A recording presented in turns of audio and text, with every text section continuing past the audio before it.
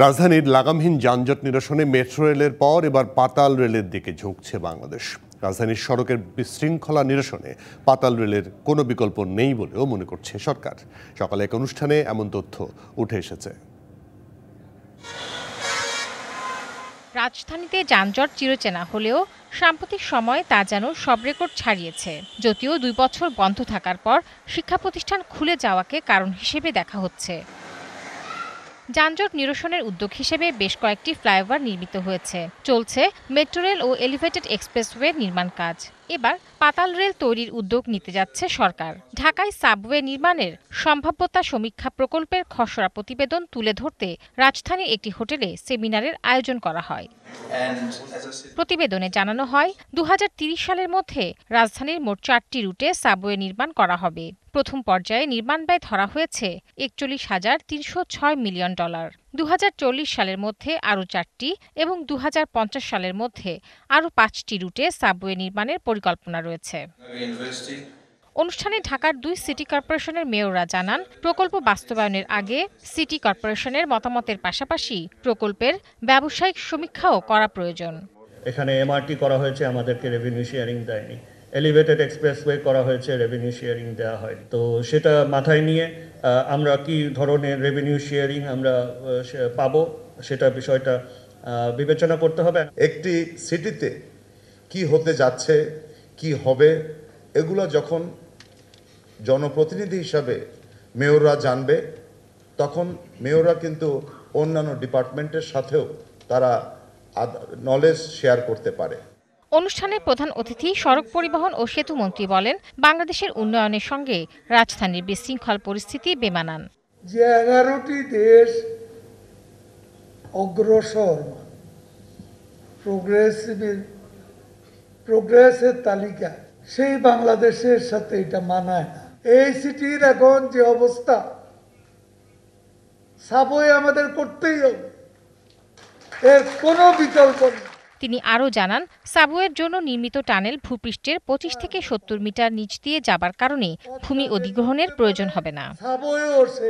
Tahsina JC DBC news Dhaka. আরও আলোচনা করব এ বিষয়ে কথা বলার জন্য আমাদের সঙ্গে অতিথি হিসেবে অনলাইনে যুক্ত হচ্ছেন যোগাযোগ বিশেষজ্ঞ অধ্যাপক ডক্টর মিজানুর রহমান। অধ্যাপক মিজানুর রহমান, স্বাগত আপনাকে। যে কথাটি আজকে বলা হলো যে পাতাল রেল ছাড়া কোনো বিকল্প নেই। আমাদের ধরেন ঢাকায় তো এলিভেটেড এক্সপ্রেসওয়ে হচ্ছে মেট্রো রেল হচ্ছে, এর আগে বেশ কিছু ফ্লাইওভার হয়েছে, এই কথাটিও আমরা প্রতিবেদনে বলেছি। কিন্তু এখন আপনি একটা জিনিস খেয়াল করবেন মেট্রো রেলের যে স্টেশনগুলো, সেগুলো গিয়ে নামছে কিন্তু সরাসরি রাস্তার উপরে। যে সিঁড়িগুলো হচ্ছে, সেগুলো রাস্তার উপরে। সেখানে জায়গাই নেই। সেখানে আবার পাতাল রেল, সেগুলো স্টেশন কোথায় হবে? সেগুলো নিয়ে তো এক ধরনের কথা আছে। এটা কি একমাত্র সমাধান? একমাত্র সমাধান আসলে এটা বলা যাবে না। তবে সাবওয়ে বা পাতাল রেল নেটওয়ার্ক যখন আমরা ঢাকা শহরের মধ্যে নির্মাণ করব তখন এই যে আমাদের যে অসহনীয় যে যানজটের জনগণ দুর্ভোগ পাচ্ছে সেটি লাঘব করতে অনেকাংশে সেটি সহায়তা করবে। কিন্তু এটি একমাত্র বিকল্প নয়। তবে পাতাল রেলের আপনার সুবিধা হলো যে এখানে আমরা যতটুকু নেটওয়ার্কই আমরা করব, এটি কিন্তু টোটাল আমাদের যেই সাপ্লাই সেই সাপ্লাই সাইডের সাথে কিন্তু সরাসরি যুক্ত হচ্ছে। আমরা যে এলিভেটেড এক্সপ্রেসওয়ে বলি বা এলিভেটেড যে মেট্রো রেল আমরা করছি সেখানে কিন্তু আমরা আমাদের যে এক্সিস্টিং রোড আছে, সেই রোডের কিছু অংশ কিন্তু সেই মানে আমরা নষ্ট বলব না, কিন্তু কিছু অংশ কিন্তু আমরা ইউটিলাইজ করছি। এবং আমাদের ইফেক্টিভ যেই রোডের উইথ সেটি কিন্তু সেখান থেকে কমে যাচ্ছে। কিন্তু যখন আমরা পাতাল রেল বা সাবওয়ে করব সেখানে কিন্তু আপনার, আমার, সেটি আমার নেটওয়ার্কের সাথে অ্যাড হচ্ছে। এখানে কিন্তু আমার সারফেসের যে নেটওয়ার্ক সেটা রোড নেটওয়ার্ক বলি বা রেল নেটওয়ার্ক বলি, সেখান থেকে কিন্তু কোনো আমার লস কিন্তু হচ্ছে না, এটি অ্যাড হচ্ছে।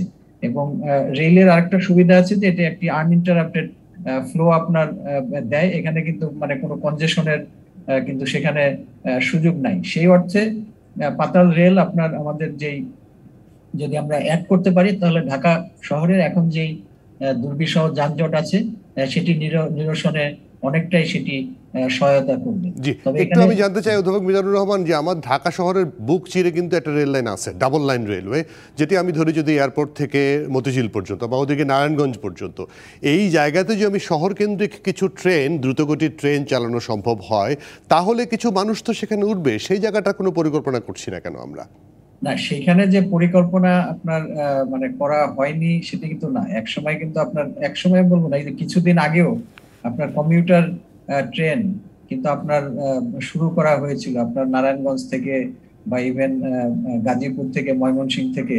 কিন্তু এখানে আসলে আমাদের দুর্ভাগ্য যে আমাদের যারা আপনার সড়ক পরিবহনের সাথে যারা যুক্ত, তারা এতটাই আসলে মানে শক্তিশালী এবং সংঘবদ্ধ যে তাদের বিরোধিতার কারণে কিন্তু আপনার সেই কমিউটার ট্রেনগুলোকে কিন্তু বন্ধ করতে মানে রেলওয়ে কিন্তু বাধ্য হয়েছে। কিন্তু সেই কমিউটার ট্রেনের কিন্তু সুযোগ সাধারণ মানুষ কিন্তু পাচ্ছিল এবং সেটি কিন্তু আমরা আপনাদের সংবাদ মাধ্যমের যে বিভিন্ন রিপোর্টের মাধ্যমে কিন্তু আমরা সেটি দেখেছি।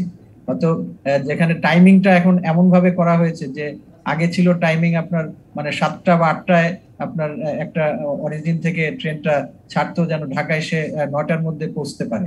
এখন সেটি যদি টাইমিংটা আপনার দশটার থেকে যদি আপনার তাহলে কে উঠবে? একদম পরিষ্কার একদম তাহলে মানে মানে অফিস অফিসগামী লোকজন ধর তাহলে সেগুলো ব্যবহার করবে না। মানে সেগুলো হ্যাঁ আপনি যেটা বললেন যে আসলে সড়ক পরিবহনের যারা জড়িত তাদের ক্ষমতার কারণে এটা বন্ধ হতে বাধ্য হয়েছে। এখন আহ, পাতাল যদি করা হয় একটা অভিযোগ একটা মানে একটা আশঙ্কা আছে যে আমাদের মাটির নিচ দিয়ে এত সার্ভিস এত সেবাদানকারী প্রতিষ্ঠানের সার্ভিস তারপর কোথায় কোথায় পাইলিং কোথায় বিল্ডিং এত ঘিঞ্জি এলাকা সেখানে জায়গাটা পাওয়া যাবে কিনা?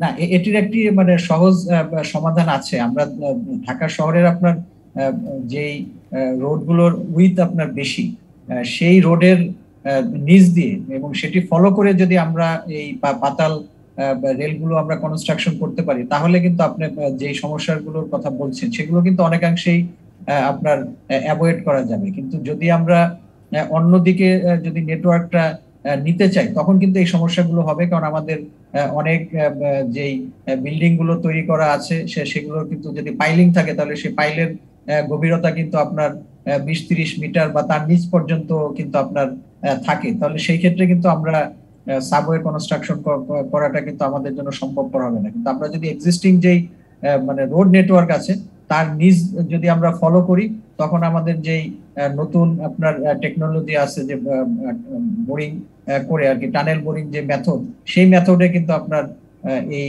পাতাল রেল নির্মাণ সম্ভব এবং স্টেশনগুলো কিন্তু আপনার নির্মাণ করা সম্ভব এবং সেখানে স্টেশনগুলো নির্মাণ করার জন্য আপনার শুরুতে যেটি বলছিলেন যে সার্ফেসে আমাদের যে স্টেশনগুলো নির্মাণ, সেটি অনেক রাস্তার অনেক অংশ আমরা সেটি ব্যবহার করে ফেলেছি। কিন্তু আন্ডারগ্রাউন্ড যখন আমরা স্টেশনগুলো করব তখন কিন্তু এই সমস্যাগুলো হবে না। জি অধ্যাপক মিজানুর রহমান অনেক ধন্যবাদ আপনি আমাদেরকে সময় দিয়েছেন আজকে। ধন্যবাদ। যোগাযোগ বিশেষজ্ঞ অধ্যাপক মিজানুর রহমান